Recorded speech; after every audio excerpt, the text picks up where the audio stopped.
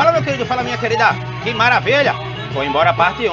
Aí agora, ó, parte 2 da nossa aula sobre citoplasma, citologia. Estamos trabalhando o íntimo da célula. Vamos trabalhar seu citoplasma. Na parte 1, vocês viram comigo a divisão do citoplasma, ênfase citoesqueleto e as proteínas componentes, os microfilamentos, filamentos intermediários, filamentos mais grossos, de boa. Vimos ainda algumas organelas. Na parte 1 vimos ribossomo, retículo plasmático liso, rugoso. Vimos complexo golgiense, que maravilha! Maravilha! E agora vamos dar continuidade ao trabalho do estudo de mais organela citoplasmática. E aí, coloca o cinto de segurança, coloca o capacete, que agora é pau na boleira, meu querido, minha querida. Vem comigo, vem comigo, vem comigo, vem no groove, papai. Sem maiores delongas, lisossomo. Primeiramente, eu saio aqui da frente para mostrar a você Veja aqui, eu tenho uma figura, você já viu, viu conosco o complexo Golgiense na parte 1 sobre citoplasma. E o complexo Golgiense, ele ajuda a formar o lisossomo. Porque ajuda, professor, não é somente ele, ele não é o exclusivo, não. Retículo plasmático rugoso vai Empacotar um conjunto de enzima vai liberar para Golgi Golgi, modifica quimicamente e vai liberar o lisossomo primário. Olha ele aqui, ó, lisossomo primário. É aquele que não está promovendo a digestão. Quando ele se liga, por exemplo, a uma bactéria, ou a um fagossomo, ou a um pinossomo, ele agora é chamado de lisossomo secundário. Ele adere sua membrana, é uma organela membranosa, libera suas hidrolases ácidas para promover a digestão intracelular nós chamamos de vacúolo digestivo e ao final da digestão vamos chamar de vacúolo residual. Pegou a visão que eu sei? Olha ali, por favor, olho na tela para esse lado. Produzido pelo Golgi, mas adicione aí também ó, mais retículo endoplasmático rugoso, as hidrolases ácidas que são suas enzimas, são produzidas pelos ribossomos que estão aderidos às cisternas do retículo, às membranas do retículo endoplasmático rugoso, tá? Nós vamos observar essa organela, o lisossomo, somente em eucarionte e ele vai promover a digestão intracelular, que normalmente, didaticamente, para que você possa entender e colocar esse conhecimento em toda e qualquer prova, em três formas de digestão. Digestão de estruturas da própria célula, como, por exemplo, organela envelhecida, que pode, por exemplo, a mitocôndria. Ela envelhecida pode produzir radical livre. E isso vem a detonar a célula, vem a fazer com que o tempo de vida da célula seja muito curto. Então a autofagia é a digestão dos próprios componentes celulares. Pegou a visão? Pegou a chave? próprios, digestão dos próprios componentes celulares. Anotou que eu sei? A heterofagia é a digestão de alguma substância que é advinda do meio exterior, do meio externo. Como, por exemplo, após a fagocitose, o fagossomo é produzido e recai dentro da célula. Aí vai lá o lisossomo e promove a digestão. Ou ainda o pinossomo, ele engloba, por exemplo, um hormônio. Esse hormônio, quando é englobado, o lisossomo vai lá e pode promover a sua digestão também. Ou pelo menos ele consegue fazer a sua atuação. Então, sim, quando existir digestão lisossômica por alguma estrutura advinda do meio externo, eu também posso te chamar de heterofagia. Já a autólise, muito importante para um fenômeno conhecido como a apoptose, que é a morte celular programada. A autólise é a autodestruição dos lisossomos. É um mecanismo genético, ele é desenvolvido porque a célula tem um tempo de vida, ela nasce, cresce, reproduz, se desenvolve e morre. Por muitas vezes, essa morte é dada por uma autólise.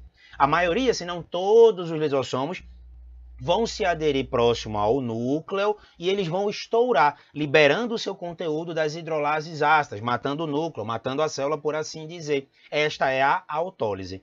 Autólise e apoptose, professor, são sinônimos? Não. A apoptose é esta morte celular programada. É, a célula tem uma programação de vida: nascer, crescer, se desenvolver, se reproduzir e morrer. Essa reprodução da maioria das células. Essa morte geralmente pode ser desencadeada geneticamente por apoptose. Apoptose lisossomal. De boa na lagoa. Professor, as hidrolases ácidas, se forem liberadas no citoplasma da célula, não vai influenciar muito a vida da célula? Um ou outro não. Agora, no caso da autólise, onde todos os lisossomos sofrem esse estouro, isso sim compromete muito a bioquímica citoplasmática, comprometendo a vida da célula. Vem comigo sem maiores delongas. Te coloquei uma imagem que denota tudo isso que eu acabei de te dizer. Vem comigo, por favor, olha para essa imagem aqui.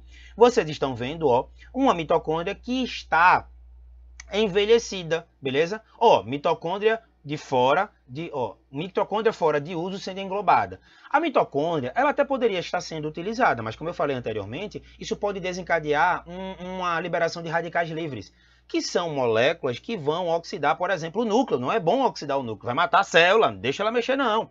Então, para evitar que esta mitocôndria desenvolva negatividade, distúrbios para o citoplasma da célula, para a célula como um todo, aí ó, o lisossomo vai lá fazer, ei, ei, respeita a polícia, tá matando a célula, quem te deu abrigo, não, vou englobar e pô, vou matar. O nome dessa digestão é uma autofagia, digerir algo da própria célula, matar algo da própria célula. Nesse caso aqui, quando ó, ou o pinossomo ou o fagossomo, que são dois exemplos de englobamento, de endocitose, forem digeridos, seus componentes forem digeridos pelos lisossomos, nós chamamos isso de heterofagia. Fagia, comer, hétero, algo diferente. É a digestão, é a destruição de algo que foi advindo do meio externo, do meio exterior. E a autólise, como eu coloquei para vocês, é essa autoexplosão lisossomal que pode contribuir para alguns eventos do nosso organismo. Ó, as membranas interdigitais, elas nascem unidas com o desenvolvimento do nosso corpo, com o nosso crescimento, os lisossomos vão se aderindo a essa membrana interdigital, vão sofrendo autólise e haverá a separação dos nossos dedos e isso é Ótimo. Um outro exemplo é o desaparecimento da cauda do girino. Exemplos de autólise, porém, olha a bronca, a silicose.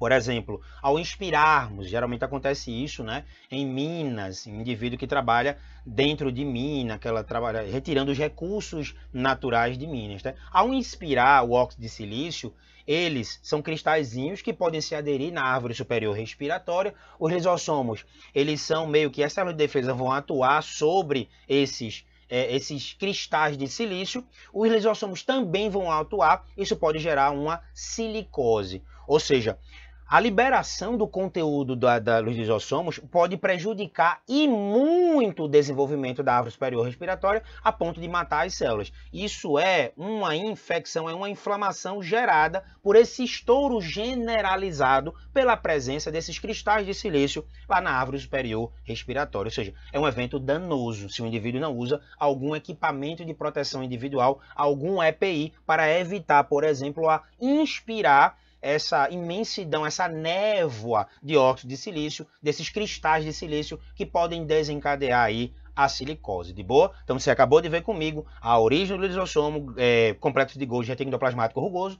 além da diferença, a distinção entre autofagia, heterofagia e autólise. Já estou na nossa querida e estimada mitocôndria que você recebeu de quem? De mamãe, de manhinha, como dizemos aqui no Nordeste. A mitocôndria é uma das organelas que possui DNA, você já sabe disso, isso é uma revisão para você. É uma organela que possui duas membranas, DNA próprio, ribossomo próprio, são os mitorribossomos. Lembra que eu acabei de te falar lá na primeira aula de citoplasma, aula 1, que os ribossomos de uma bactéria, nós dizemos que é um ribossomo do tipo 70S, subunidade maior, 50S, subunidade menor, 30S. Os ribossomos que nós encontramos no interior de uma mitocôndria, chamados de mitorribossomos, também são 70S. E isso corrobora, é um dos fatores que corrobora com a ideia de endossimbiose de uma pesquisadora maravilhosa, que eu acho que ela faleceu em 2015, uma senhorinha extremamente inteligente, chamada de Lynn Margulis. Ela desenvolveu a hipótese, a teoria endossimbiótica que já já eu falo, foi só um spoiler para vocês. Por favor, mitocôndria é uma organela bimembranosa restrita aos eucariontes. Animais em geral vão possuir. E também os vegetais. Confunda não. Cloroplasto de vegetal é fotossíntese que é a produção da molécula orgânica. Só que essa molécula orgânica precisa produzir energia. Precisamos retirar a energia dela. E quem faz isso dentro de um vegetal? Mitocôndria. No seu caso, você que está me assistindo agora, você se alimenta, a digestão libera os combustíveis preparados para o interior da célula e nossas mitocôndrias ficarão encarregadas de produzir essa querida e estimada energia. No caso do vegetal, ele produz sua própria seu próprio alimento, suas moléculas orgânicas a partir da fotossíntese. E essas moléculas orgânicas que denotam, que detêm energia, elas são agora quebradas através da respiração intracelular aeróbia mitocondrial, até mesmo em um vegetal. Percebam aqui, ó, numa célula eucariota, onde aumentamos esse tamanhão mitocondrial, membrana externa e a membrana interna. Por favor, coloque aí em teu resumo Nessa teoria endossimbiótica, que já já eu mostro a vocês, nós dizemos que essa membrana externa, da, tanto da mitocôndria como do cloroplasto, são membranas que foram advindas dos englobamentos, das fagocitoses que os primeiros eucariontes faziam. E a membrana interna, no caso da mitocôndria, as cristas mitocondriais, elas sofrem esses endomembramentos. Essa membrana mais interna é a membrana que sempre já foi, já pertenceu a ela visto que pela teoria, teoria endossimbiótica, essas duas hoje organelas já foram organismos procariontes. Então, por exemplo, o cloroplasto ele foi advindo, era uma cianobactéria, beleza? Era uma, era uma cianobactéria lá atrás, aquela que a gente já conheceu um dia como alga azul, lembra? Era uma cianobactéria, promovia a fotossíntese, foi englobada pelas primeiras células eucariotas e virou cloroplasto. Nós tínhamos lá bactérias que realizavam, lá atrás, realizavam respiração aeróbia. Os primeiros, as primeiras células eucariotas englobavam, digeriam. Chegou um momento que englobou, não digeriu mais, virou mitocôndria. Então lembre, vestibular, as particulares podem trabalhar para você. Olha aqui para mim, a membrana externa ou de mitocôndria ou de cloroplasto essa membrana externa, que hoje faz parte dessas organelas, essa membrana fazia parte das primeiras células eucariotas que lhes promoveram a fagocitose, gerando uma endossimbiose, gerando esta troca de favores, essa autoajuda entre agora as organelas e as células eucariotas, beleza? De boa. Essa é uma organela linda e maravilhosa. Você viu, membrana externa, cristas mitocondriais, que é a membrana interna toda dobrada. Essa parte, né, que seria o citoplasma dela, que seria o hialoplasma dela, mas não é, porque a gente pega essa denominação para a célula. Isso aí é a matriz mitocondrial. Você lembra muito bem que a primeira fase da respiração aeróbia acontece no citoplasma da célula.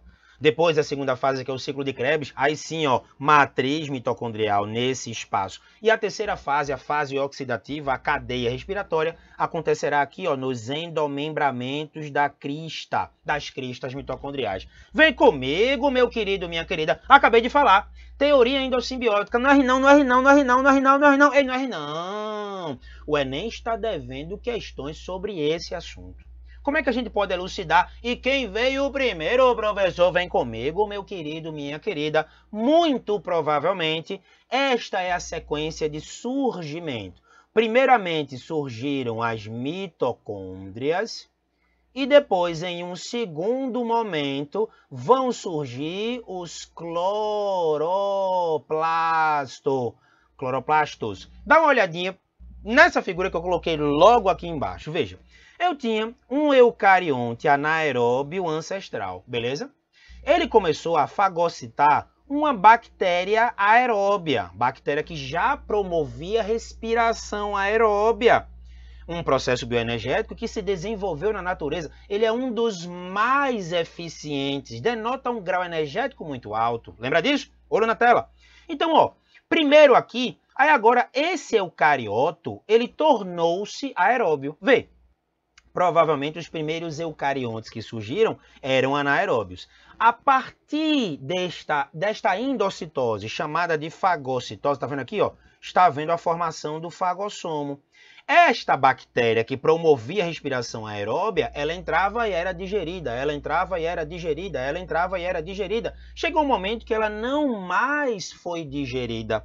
Ela começou agora a trocar relação, disse, ei, célula anaeróbia, peraí, peraí, Tu não me mata, tu não me come, eu vou fazer um processo de respiração intracelular, eu vou te ceder muita energia e você me protege fisicamente. Tamo junto?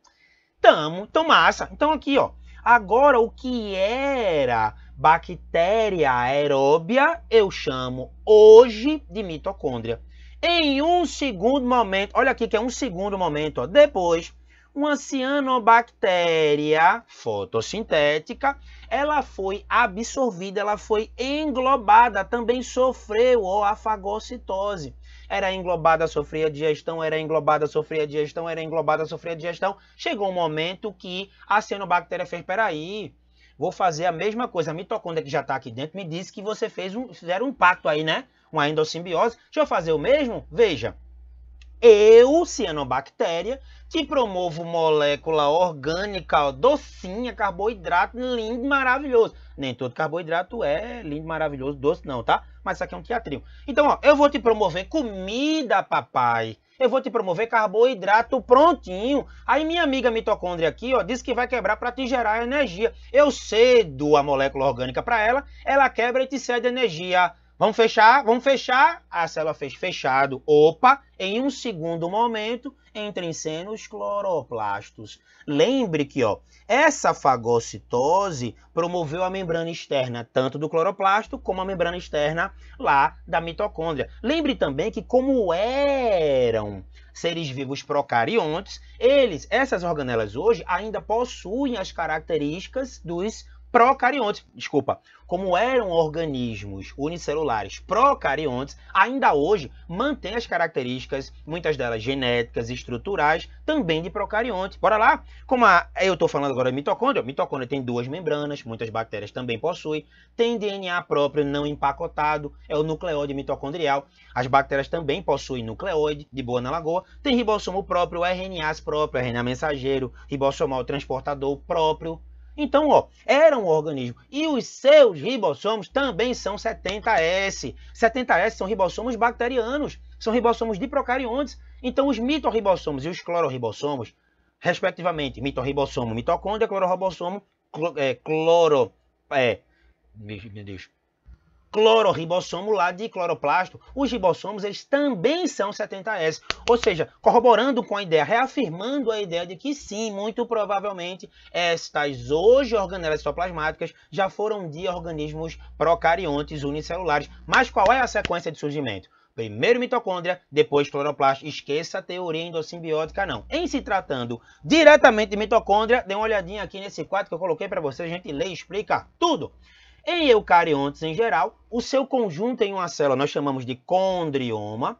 É uma organela que pode sofrer uma autoduplicação, chamada de condriocinese. Possui RNAs próprios, DNA próprio, que é o nucleóide mitocondrial, beleza? Já falei para vocês. Seus ribossomos, chamados de mitorribossomos. Mitorribossomos.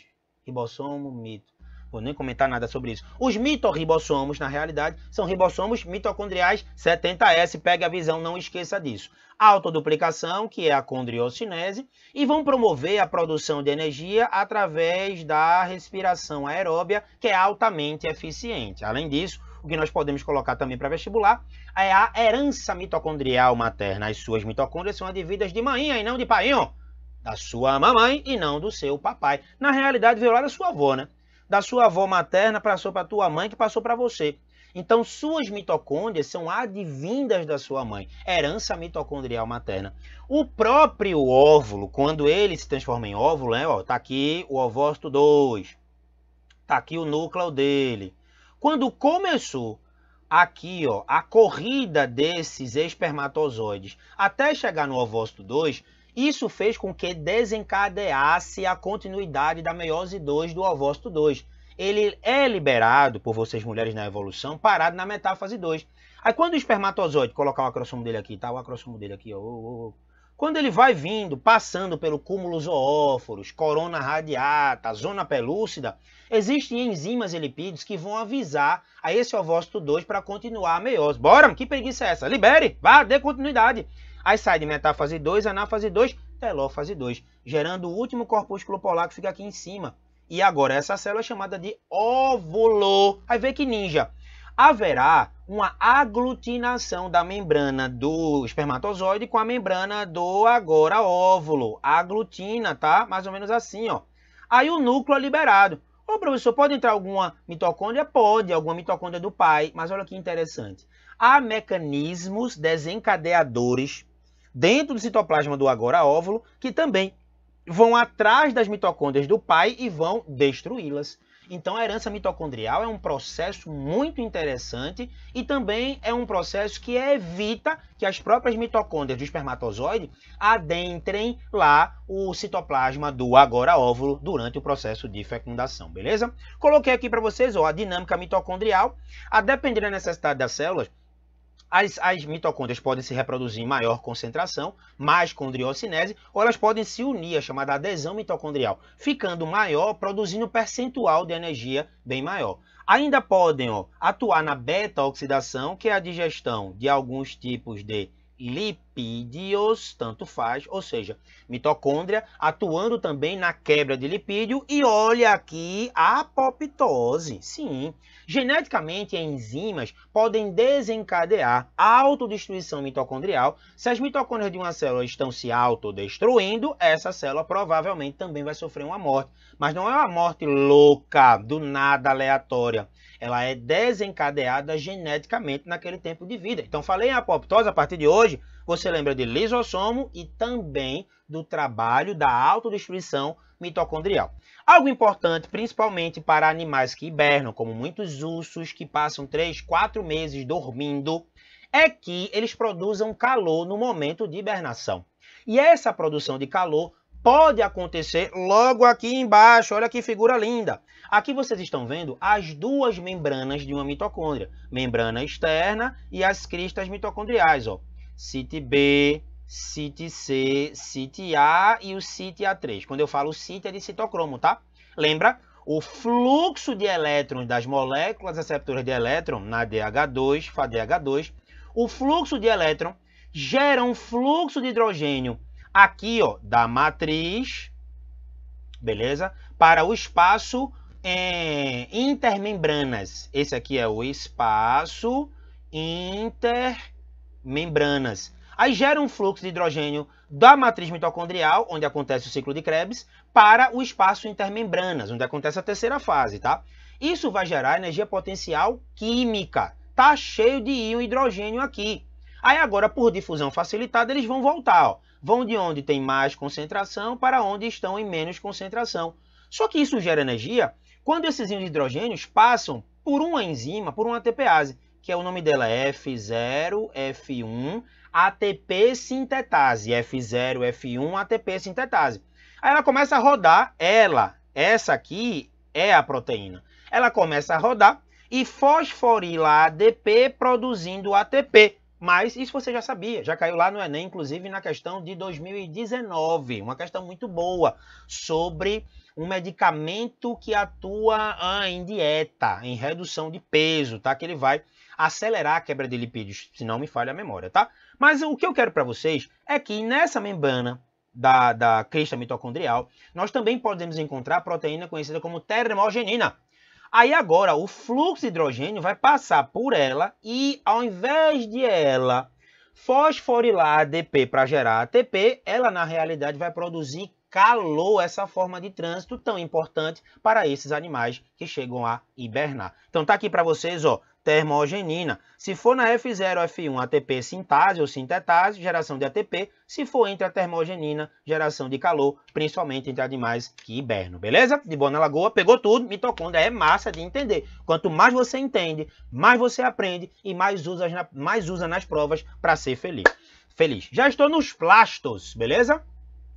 Plasto é restrito lá, né? A alga, aos vegetais, e são divididos em dois grandes grupos os incolores e os que possuem cor. Os leucoplastos que vão armazenar substâncias orgânicas como proteoplasto vai armazenar proteína, oleoplasto vai armazenar lipídio, amiloplasto, por exemplo, lá naquela raiz tuberosa, a macaxeira, lá na batata inglesa, que é um tubérculo, é um caule, essa batata inglesa vai armazenar também carboidrato a partir de amiloplasto. Então, esses plastos incolores, não têm pigmentação, eles armazenam substâncias orgânicas de reserva para o vegetal, beleza? Já cromoplasto geralmente vai estar diretamente ligado à fotossíntese. O próprio cloroplasto estava aqui, tá? Nas classificações mais novas, por mais que ele tenha cor, mas como ele é o cara, é o diferentão, né?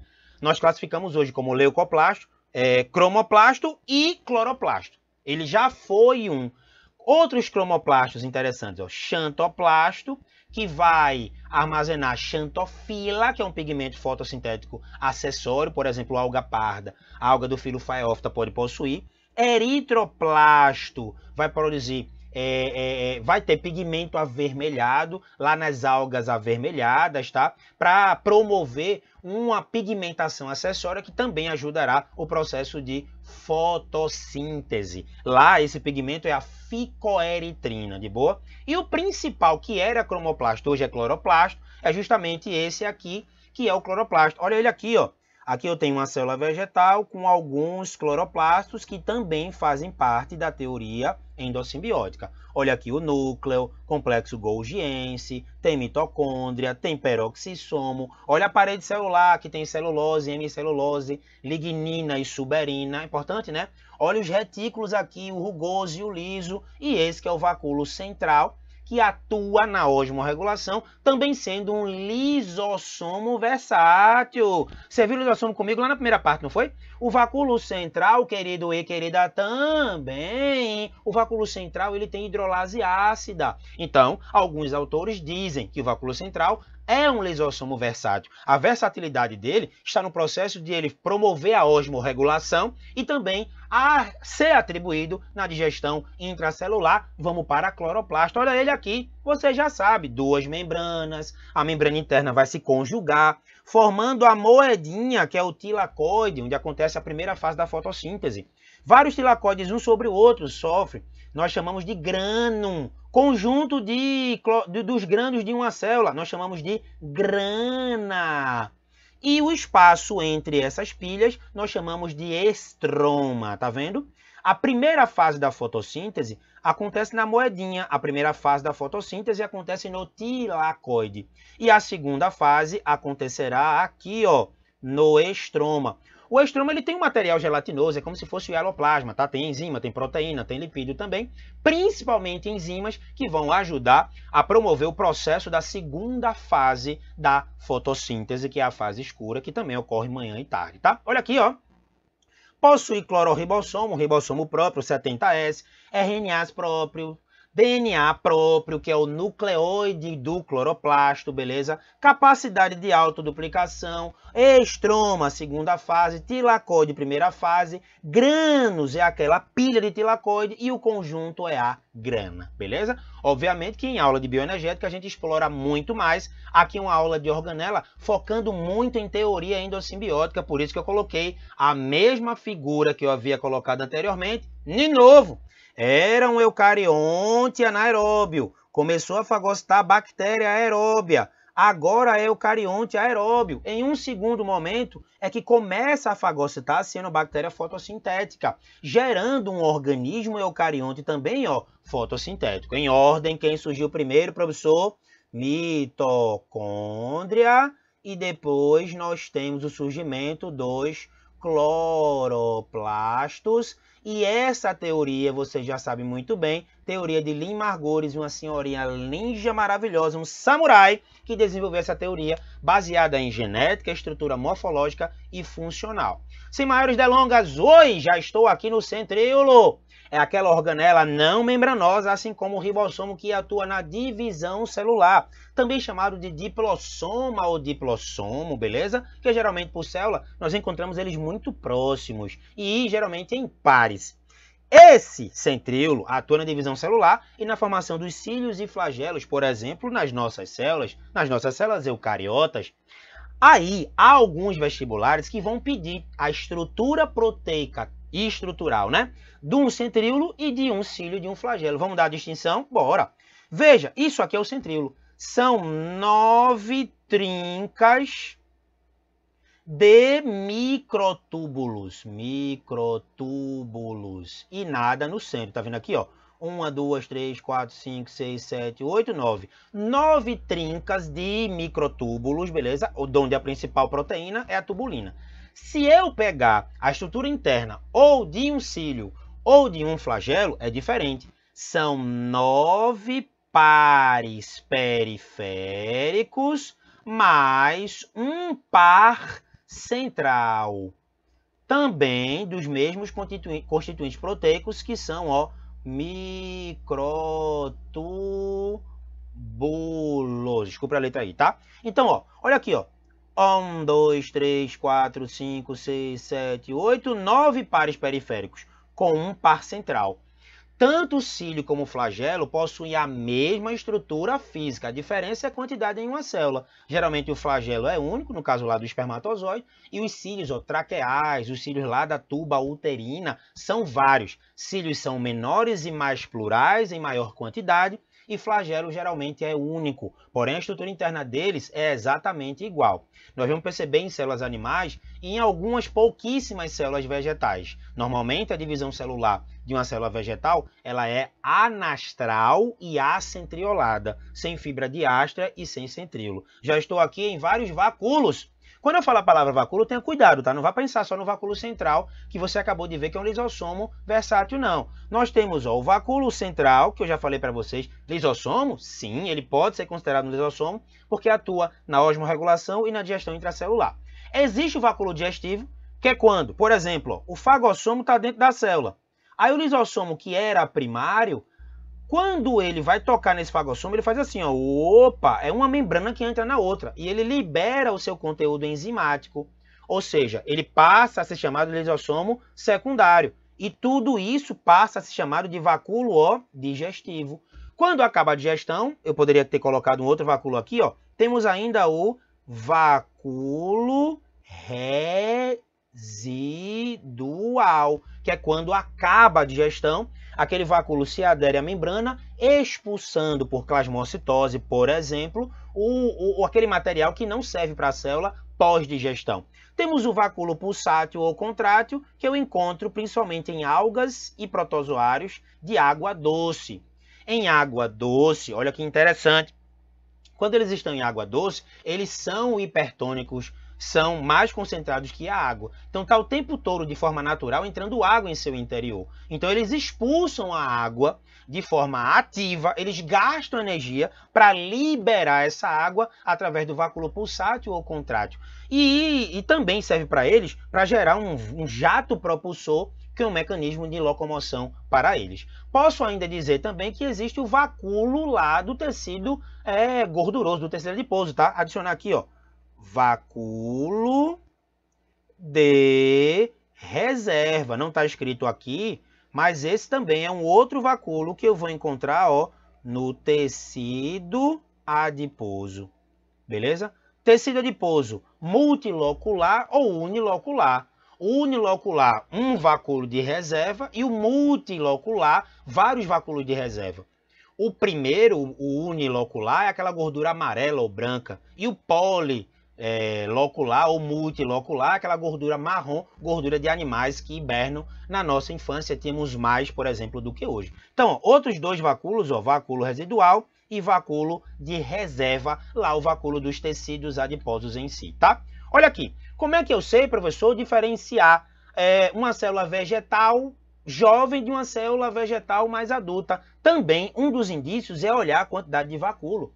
Célula vegetal jovem tem geralmente vários vacúolos, que vão se aderindo e gerando um vacúolozão central grandão.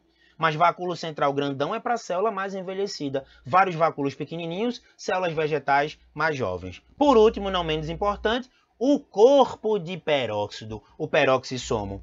Aquele que possui a catalase. Catalase que acelera a quebra da água oxigenada, que ele também produz em água mais O2, e esse O2, ele é um agente bactericida. Ele vai atuar na desorganização das bactérias. Ele vai atuar, por exemplo, na oxidação dos envoltórios e estruturas bacterianas, a ponto de acabar com essas bactérias. A água oxigenada utilizada, por exemplo, por nossa espécie, aquela água utilizada ah, para cortes e ferimentos, você pode adicionar. O borbulhamento é quando essa água oxigenada entra em contato com a catalase daquele seu tecido que está machucado, aquele tecido que foi lesado. Aí a catalase de lá acelera a quebra desta água oxigenada, a água e O2, e esse, esse borbulhamento vem justamente da quebra da água oxigenada que ele mesmo produz, tá? Olha aqui A, uma de suas origens, né, tem várias teorias, é que ele vem ó, pelo retículo endoplasmático liso e junto com ribossomos livres.